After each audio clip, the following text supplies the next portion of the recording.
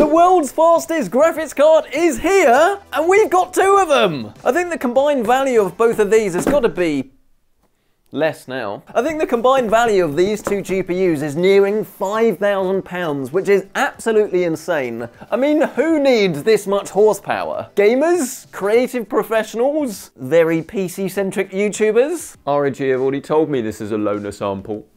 In this video, we're going to be answering that exact question. We're going to be looking at some benchmarks to see exactly how these things perform, whether we can actually finally crush 4K 120Hz gaming across the board, and I guess almost giving Nvidia a little bit of a good grilling. Because I think everyone's asking the same question. Why? Why do these exist? Find out after a short word from this video's sponsor. Signal RGB is the quick and easy way to synchronize all of your RGB devices together. Use one application to combine different branded PC components, peripherals, and even Philips Hue, all into a single cohesive color scheme. Different brands, different themes, one free app. You can even sync your RGB with the games themselves, the ultimate immersive experience. Get started with Signal RGB today with that link down below. So yes, we have two RTX 3090 Ti's in front of us, and we are going to unbox both. We're going to start with a Palit. This is their Gamerock that has come a very long way to be here today. This is going to be a little bit of a different comparison actually, because the two cards we have in front of us, while they are the same, they're also very different. Because this is very much a traditional air-cooled card. It's going to have three different fans on it. I imagine it will look very similar to this one. I mean, it's definitely not a conventional design. They've gone for the whole, what's the most polite way of saying this? Out there design, as this one is all about the bling, and it is very much Marmite, love it or hate it. For me, I think the crystal structure is a little bit much, but if you have this in a more traditional GPU orientation, then it's actually a pretty nice looking GPU. And of course, you get the lighting coming down from the bottom. It looks pretty neat. Oh, okay, that's different. I'd heard about this, but this is the first time I've actually seen one. Take a look at this. We have another new power connector. This time it's a 16 pin. And let me get the absolutely crazy bonkers thing out the way now. This is an absolutely insane power hungry graphics card that consumes 450 watts of power. 450! You thought the RTX 3090 was bad with 350? This has just taken it to a whole new level. I wouldn't usually talk about gas and electric prices in a video because frankly it's pretty boring. We all know at the moment that prices of that are absolutely through the roof and suddenly getting a 450 watt graphics card is not only going to cost you a load of money now, but also into the foreseeable future. Personally speaking, I'm actually quite glad that they're bringing in this new connector. In the short term, it definitely is going to cause you some pain. You're going to have to use adapters like this. It's even more of an alien now. You've got three 8 pins and you do need to connect them all. But in the long term, I believe it's a more efficient way of actually delivering power. You don't need to take up as much of the PCB, and the end result should be one cable in your computer rather than three. But obviously in this case, you're going to have to get an adapter while you wait for someone like CableMod to actually supply you a different cable that can look a whole lot better. No pain, no gain. You do also have NVLink though, if you want two of these. If you really do want to spend close to £5,000 on graphics, it's possible. It looks so funny, doesn't it? The Asus Strix card, however, takes a very different approach because they've realized that 450 watts of power is a lot. And in order to actually dissipate all of that heat, you're going to need a pretty hefty solution. But rather than relying on just the power of air, okay, I didn't realize that, it's a 240, it's actually an all-in-one as well as a fan on the graphics card as well. So you still have three fans, just in a very different orientation. As with the Palit, you also get one of these same, it looks like NVIDIA manufacture these maybe, because it's exactly the same power connection splitter type thing, alien. But at least you're getting more for your money. Might not translate into more performance, but you get more stuff. So while this is definitely different in terms of its cooling approach, when it comes to aesthetics, this is pretty much business as usual when it comes to ROG. I think this is an absolutely fantastic looking card. It's very well built, even though it is a tad plasticky. You've got even more display outputs on the back actually. Here you've got three display ports and two HDMI. Whereas I think on this one, you just have three display ports and one HDMI. So quite a significant difference. You've got a performance mode and a quiet mode, but let's be honest, you're probably always going to use the performance mode. You've got two fan headers on the side of the card, which is brilliant because, well, any extra configuring, your front case fans can then be dictated by your GPU performance rather than your CPU. And then of course you've got that 16 pin on the top for your power. It's almost masking the fact that this is about to use 450 watts of juice. But all of the power and RGB lighting actually comes out from the graphics card itself, so you don't need to plug this into the motherboard, and all the fans are pre-fitted and pre-routed for your convenience. Here we have a 3070 Ti, and then as for the Strix, it is pretty big, Make no mistake, it is pretty big, but it's not the biggest I've seen. I imagine if you get like a MSI Supreme version, then that will be absolutely gigantic, and there'll be plenty of cases that that won't fit in. But then again, if you're using a 240 AIO, then the same applies to this, just in a slightly different way. I'm just looking in the box, and it looks as if there is a slight missed opportunity. You don't get four additional screws for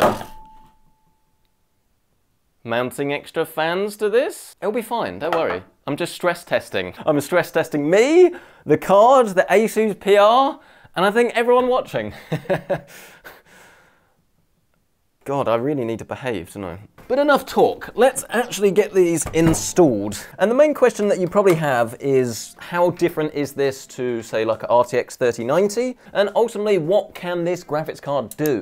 Well, in terms of value for money, it certainly can't be a more traditional graphics card because this 3070 Ti is going to cost you around about 550 pounds and there is no way you're getting four times the performance out of one of these. The Founders Edition of the 3090 Ti costs, I think it's £1,849. And let's be honest, at launch, the chance of you actually getting one of those for that price is very unlikely. And while I don't have current pricing at the moment, as soon as I have it in the edit, I'll add it. For these two graphics cards, they will be a lot more, especially the Strix version.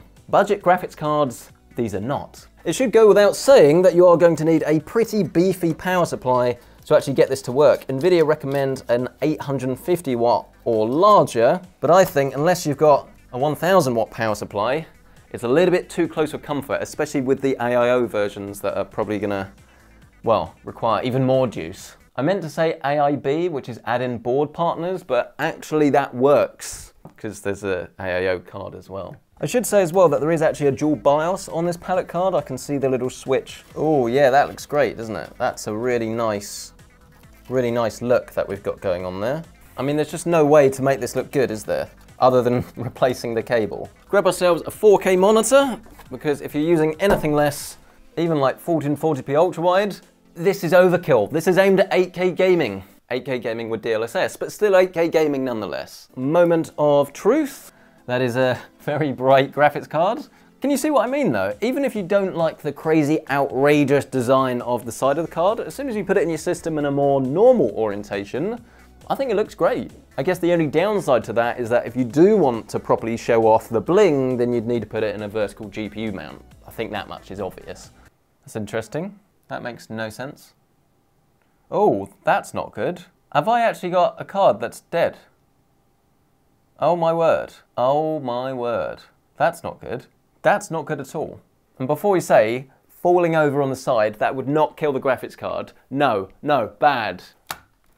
Oh, maybe it wasn't plugged in. maybe where I screwed it in, it like pushed it out of the socket a bit.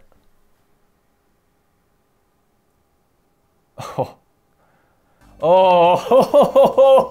Oh. I was covering it up. It was all a lie. I was so stressed. I was about to cry. Oh, relieved now. Woo!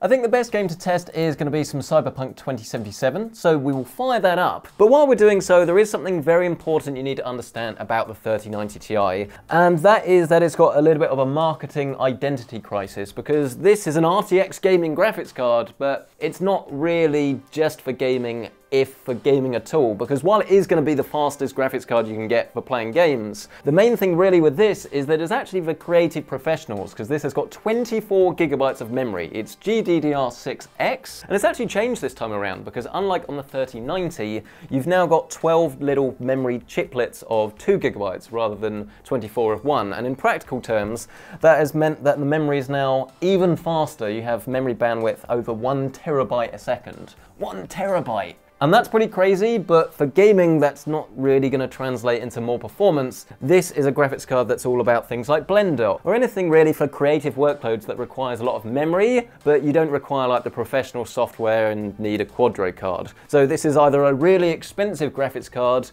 or it could be a cheap Quadro, depending on how you look at it. However, with all of that said, there is actually a much bigger overarching problem that I do have with this graphics card. Not only this one, but the Strix one as well. But I'll talk to you about that at the end of the video, because that requires a few sentences. And I don't want to give the game away now. Where's the fun in that? Right, let's max this baby out. We're going to turn this up to Psycho. I wouldn't normally do that. Clues in the name. Psycho. But this gaming graphics card probably costs over £2,000, so if this can't do it, well literally nothing can. Let's run the benchmark. What are we gonna get? What are we gonna get? In terms of frame rate, oh, okay, Psycho. 36 frames a second at 4K, DLSS quality, Psycho. I'm not saying anything, but I will look at the power usage, which is currently 644 watts of power. You do get slightly more CUDA cores. It's not actually that many. It's around about 300-ish more. But the base clock and the boost clock of this is better. And the fact that you can actually pump more power into this means that you should be able to push it further and get even higher frames per second. But obviously, does that count if you're using 450 watts of power? That one's on you. Let's go to the more NVIDIA-friendly settings of Ray Tracing Ultra. I mean, I'm a bit disappointed. The frame rate hasn't really done much. Like, I know this is really hard, but that is precisely the point. This is meant to be the world's best graphics card, and it's come up against one of the hardest games to actually drive, and it's fallen a little bit flat. I think we're far up the game for real, but I want to see what the thermals are going to be like in a real world situation with the side panel on. Well, in the game for real, it definitely feels very smooth. We're getting around about 60 FPS now which is a pretty decent improvement. It is going to depend where and when you are in the game. Obviously, you're putting the Tensor cores to good use, the RT cores, it's probably the best looking title I think you can get with everything turned up, and you just can't really do that on any graphics card. So I love the fact that you can here, but if you're running this on an RTX 3080, would you really be able to notice such a big difference if you just turn the ray tracing down slightly and got more or less the same frame rate? I'm not convinced. But I guess the proof is in the pudding. This is the hardest test really that we can throw at it, other than Psycho, and it is passing now with flying colours. They must have made some decent changes to the card actually, because in terms of noise levels, like, you can definitely hear it, but it's not really a problem. I don't know how many non-professional Apex Legends players are probably going to grab themselves an RTX 3090, but it is interesting to see nonetheless. Yeah, look, around about 160, 170 FPS, so you're probably getting the most out of this display, there's no doubt about that. But you would have to really like Apex for this to make sense. Let's have a look at our clock speeds though, again in Cyberpunk 2077, and you can see that the default hovers around about 2055. It does go to 2070 sometimes, I mean, I don't think Palit are necessarily pushing this as the absolute fastest one you can buy, spend everything that you have and you can get like an ounce more performance. The eagle-eyed viewers amongst you have probably already noticed this, but in terms of the board power, we are using not 450 watts, about 380. I sort of went into this expecting the Palit card to be pretty cool, but not necessarily the one that I would buy. But I mean, I think it looks brilliant it's almost certainly going to be a lot cheaper than the Strix card. If you're looking at this card and you seriously want to buy a 3090, highly recommend it. But again, should you get a 3090? We'll talk about that a little bit later. Okay, I think we've seen enough. I know what you want to see now. Something a little bit more Strixy. Hmm. Might have to do it a little bit hacky, but I think it can be done. Well, that's the best I'm going to be able to do. Definitely do take this system then with a slight pinch of salt, but bear in mind that this 4000D is not really sufficient unless you've not got a radiator at the front. Let's do this.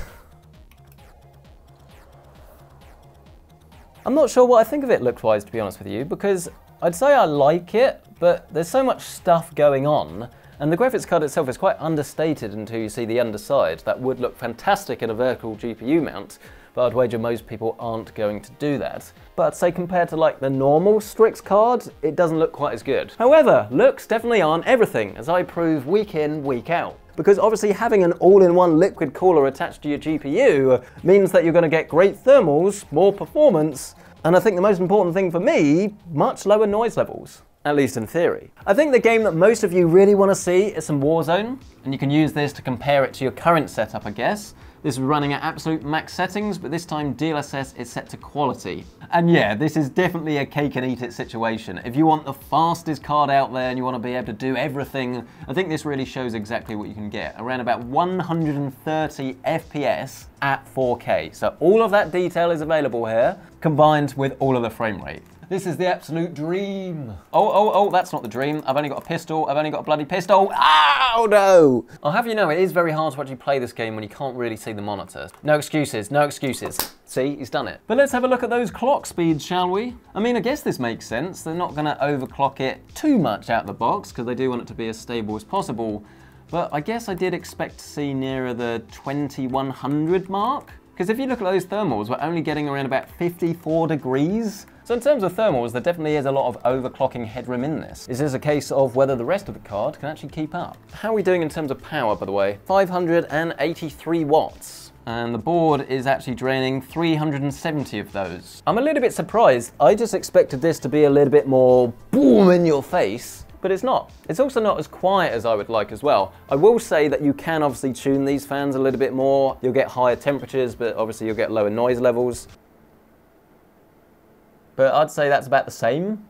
If not, maybe slightly louder because the noise is coming from the top of the case rather than behind the tempered glass. But we're not going to leave this at stock. You didn't honestly think I was going to get a Strix card in this PC, make a right mess of it like I did, and leave it there. 100 to the boost clock. Crank that power all the way up, add 50 on the voltage, 80 on the memory. I got an achievement for risking my hardware there. That's dangerous. Straight away, our GPU clock has rocketed up by around about 100 to 2160.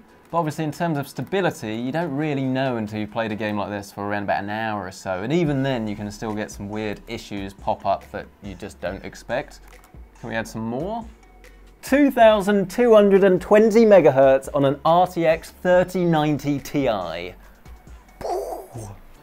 Oh, and it's died. So maybe if you gave it a little bit more voltage, then you'd be able to get this stable, but there's not going to be like a absolutely huge amount of overclocking that you can do with this, so do be aware. The best way of looking at it is that this is clearly not really a gaming graphics card, even though it kind of is. If you've got a stupid amount of money, then you probably wouldn't be watching this video anyway, you would have already bought this thing. And then for everybody else, well, you should know that there isn't really any value here, unless you're going to be using this for any sort of application that needs the 24 gig of memory. You can expense this on your company, and clearly it's going to make you money so your sense of value is going to be very different to someone like myself that wouldn't utilize all of this horsepower. However, the big elephant in the room and the thing I really want to address is the fact that this has a very limited shelf life. We're at the end of the 30 series with new graphics cards coming almost certainly at the end of the year, if not very shortly into the next. And I think the chances of the RTX 3090 Ti being the fastest graphics card